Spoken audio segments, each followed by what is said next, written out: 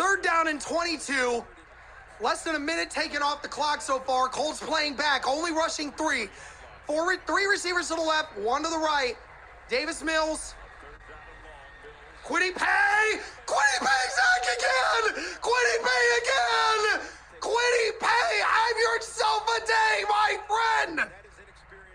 That's the second sack for Kwity Paye on this drive! Let's go! Kwity Paye just brought him back 13 yards all by himself on this drive.